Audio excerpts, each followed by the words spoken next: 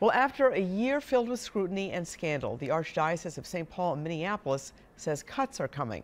The Archdiocese will cut more than $5 million, or about 20% from its budget, according to the Pioneer Press. That will include job layoffs and other reductions starting this month.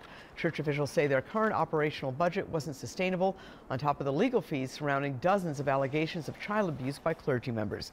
The Archdiocese says individual parishes, schools, or other institutions will not be directly affected by the cuts. More details are expected to be released later this month.